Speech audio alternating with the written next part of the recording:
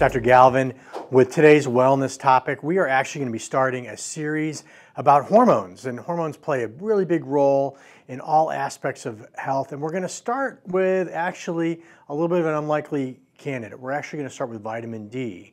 Now, why would I talk about vitamin D in a hormone series? Well, because vitamin D is actually a prohormone. It's a precursor to hormones, and it has a lot of very hormonal-like effects.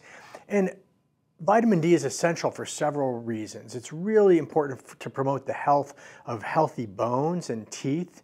It supports the immune function, it, it supports brain function, uh, neurologic health. It has an effect on cardiovascular health. It regulates insulin levels, and if you happen to be diabetic, it can be very important for regulating diabetes. It supports our lung function. It also um, influences the genes involved in expressions of different types of cancer. And also, we think that it may have a role to do, I mentioned immune function, but also in fighting off viruses. And there's been some evidence that, uh, that adequate levels of vitamin D can actually prevent the flu. And now there's some new papers out, including a, a, something I posted on our Facebook page just today, that indicate that adequate levels of vitamin D may well reduce your risk of developing COVID or developing the severe forms of COVID. So it's important. Now, what are the the symptoms of low vitamin D, and you got to realize that a, a, large percentage of Americans have low vitamin D, and that's in part because we don't get outside much anymore. And even though it's supplemented in some of our foods, we tend to not get enough. And what may be normal may not be optimal as well. And so it's important to get those levels checked and measured every year vitamin D levels tend to fall in the wintertime and then rise back up in the summertime because we can actually produce vitamin D in the skin when it gets hit by the sun. Now, what are some signs of vitamin D deficiency? Well, one of those are sort of frequent infections, viruses, and, and illnesses. Fatigue is another one. Bone pain, back pain, muscle pain may be a, a symptom of low vitamin D. Depression, anxiety as well as diminished wound healing. So if your wounds heal slower than they used to, that could be a sign. Hair loss can be a, a symptom of vitamin D deficiency as well. Long term, you can develop some more serious complications, cardiovascular disease, certain types of cancers, in particular, um, colon, breast, and prostate cancer have been related to low vitamin D.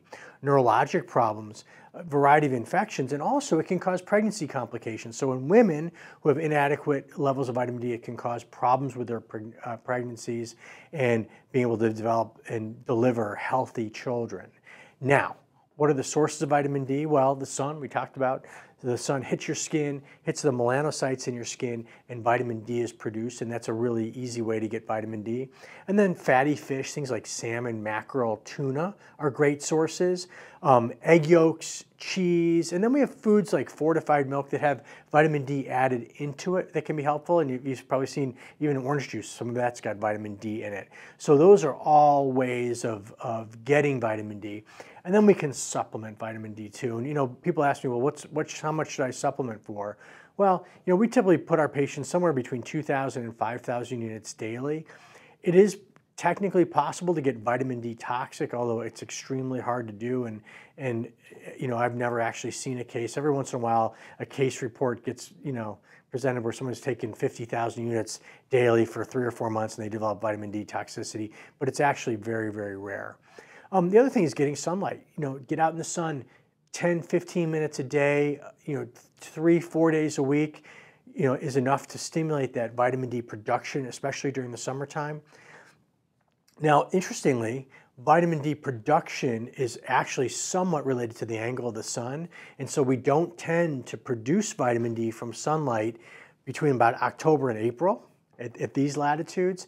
And so that's why vitamin D levels tend to fall in the wintertime. And you know, when does the flu season hit? In the wintertime. And there's some thought that maybe those viral, those winter viruses, and you know, now we might be able to lump coronavirus into that, maybe, you know, peak in the wintertime because in part our vitamin D levels are at its lowest then. So it's really important to make sure your vitamin D levels are good going into this to winter, but in particular this winter because of the virus. How do you get that done? You know, you need to get your vitamin D level checked.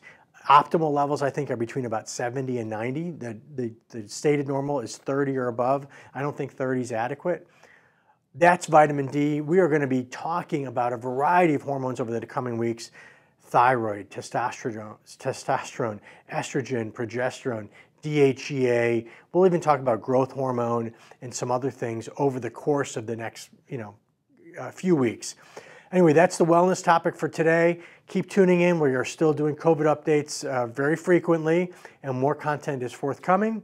If you like this, please follow us on Facebook and subscribe to our channel on YouTube. Hit the little bell so you get informed when we release new stuff. Have a great day. It's Dr. Galvin. We'll talk to you soon.